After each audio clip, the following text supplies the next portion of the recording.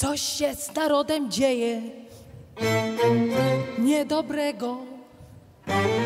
Nie ma za grosz poczucia humoru ludowego. Ja was widziałam o świcie w tramwaju, gdy powracałam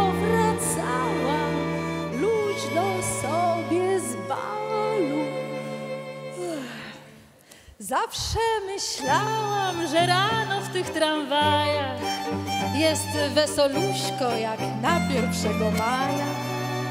A tu garbary, szarymary, junikowo zdrój. Dlaczego, ludu ty mój? To wycie syren i ranne bicie dzwonów to najpiękniejsze odgłosy mego domu. Wylegiwania w swych pierzynach chyba macie już dość, więc skąd ta poranna złość? Hmm?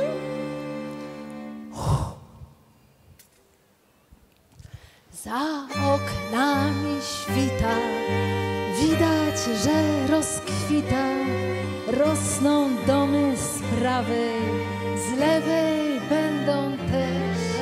Przecież to jest nasza duma pospolita, tacy, toż to przecie grzech. Przez chwilę myślałam, może coś się stało, ale to by nasze radio już podało. PiS ołaby prasa na pierwszych stronicach, no bo jakaż z tego byłaby tajemnica. I tak podniecona już nie wytrzymałam razem z motorniczym tramwaj zatrzymałam i jak ten natchniony poeta Horacy zawołałam ludzie! Kochani, rodacy, coście tacy smutni? Przecież jedziecie do pracy.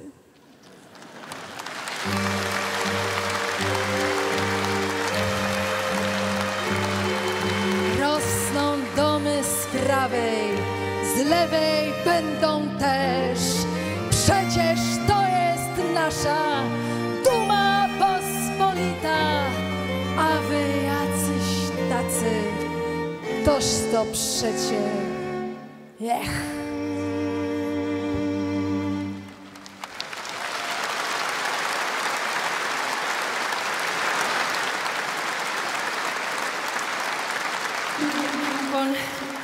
Pozdrawiam serdecznie moich mistrzów fantastycznych, czyli kabaret tej, oczywiście Krzysztof Jasiar, Zenon Laskowik, który jest twórcą słów tej piosenki. No ja bez budków to ja w ogóle nie. Dziękuję. Znalazłem pantofelek, Znalazłeś. Dziękuję bardzo. Proszę, jaki ojciec, taki syn, nie? dziękuję Filipie, dziękuję bardzo. Proszę Państwa, ten wieczór dzisiaj już troszeczkę trwa, tak sobie pomyślałam, siedzę za tymi kulisami i taka uderzyła mnie myśl, nie boleśnie, a jednak skutecznie, że tak naprawdę tutaj tyle stresów, a tak naprawdę ja mogłam prowadzić spokojne życie, naprawdę. Pracować w domu albo w biurze, być jakimś profesorem albo dyrektorem, nie wiem, w spółce skarbowej państwa albo wykolejeńcem i w ogóle nic nie robić. Słowem być normalnym człowiekiem. A proszę bardzo, na co mi przyszło? Jako skończony za przeproszeniem polonista wylądowałam na scenie, będąc chodzącym przykładem, na co stać polonistę, żeby tylko w szkole polskiej nie uczyć. Dobry wieczór Państwu. I od razu powiem Państwu, że do szkoły teatralnej też się nie dostałam, ponieważ opinia bardzo ważnej pani profesor brzmiała, no, że jestem takie nisioni wio, poza tym mam gotyckie podniebienie i wielkie zęby, więc ewentualnie to na stomatologię. Taki żart oczywiście przy mnie tym błysnęła, więc trochę mnie to zablokowało. No więc po prostu zdałam na polonistykę. Tak rozpoczęłam moje studia polonistyczne. A zaczęło się tak naprawdę wszystko, ta cała historia sceniczna rozpoczęła się, uwaga, przepraszam, ale w bibliotece, bo chyba tam się znalazłam przez przypadek, bo obok mieliśmy na wydziale stołówkę i drzwi mi się zwyczajnie pomyliły, bo ja nigdy nie kryję, że je jeść bardzo lubię.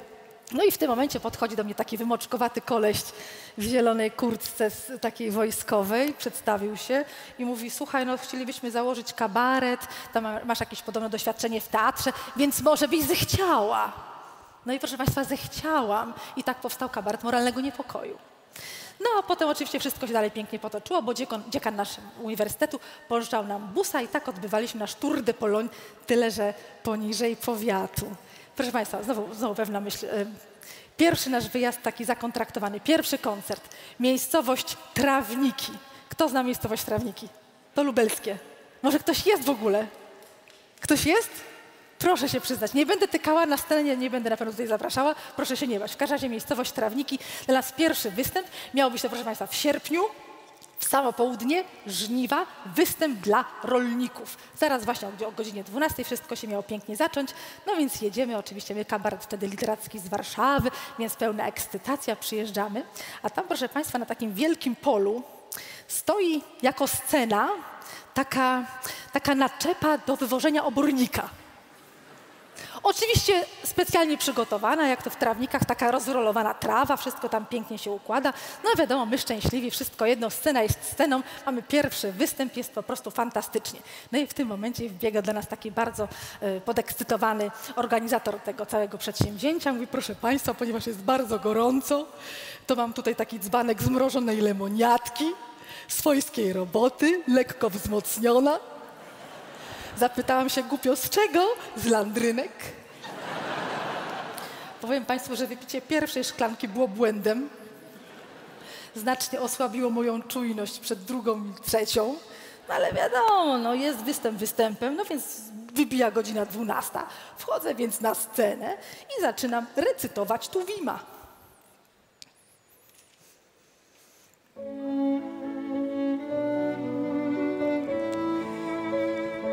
Masz takie oczy zielone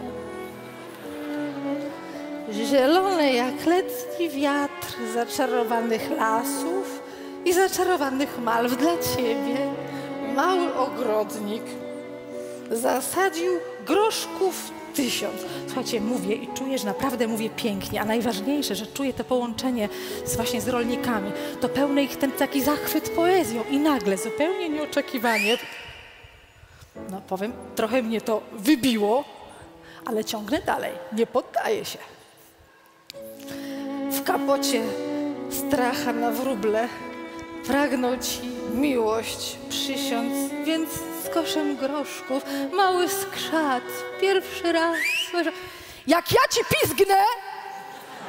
Słuchajcie, w tym momencie czuję, że jakieś łapy ściągają mnie z tej sceny, wrzucają mnie do busa, bus rusza i słyszę, Pakosa, czyś ty oszalała?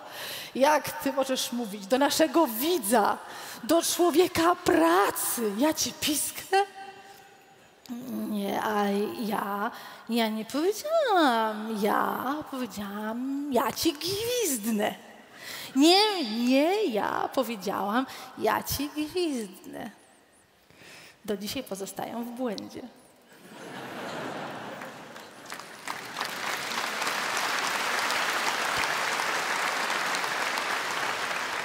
Proszę Państwa, dokładnie wiem, co powiedziałam, ale od tamtej pory żadnych zmrożonych lemoniadek przed występem nie korzystam. Także jeżeli tutaj dzisiaj wśród nas jest osoba, której marzy się kariera estradowego wesołka, to z tego miejsca odradzam wspomnianą trawnicką zacierę albo chmielaki w Krasnym Stawie, gdzie podobno podczas ostatniej imprezy, proszę Państwa, dachował kombajn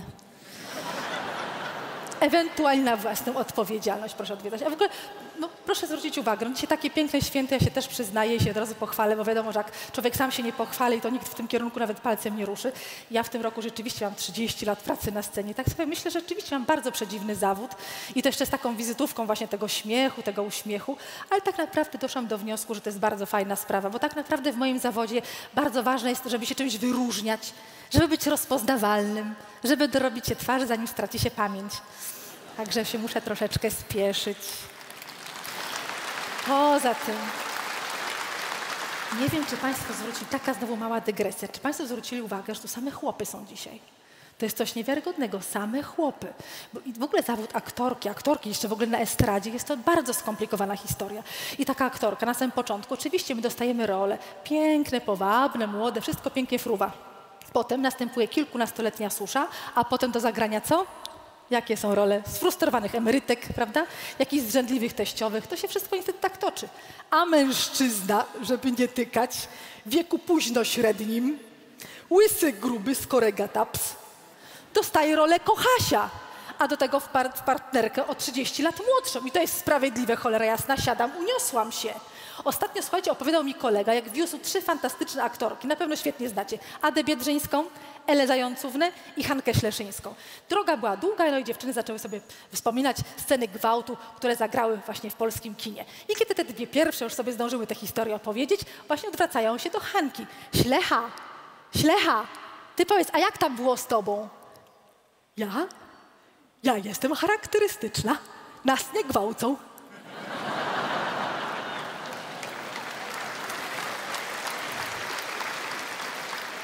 Tak sobie pomyślałam, że rzeczywiście coś w tym jest. Zwróćcie Państwo uwagę, że te charakterystyczne mają lepiej. Irena Kwiatkowska, Hanka Bielicka.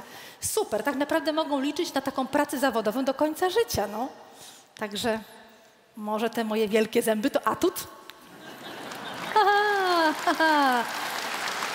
Pokażę je Państwu za 25 lat. Dziękuję.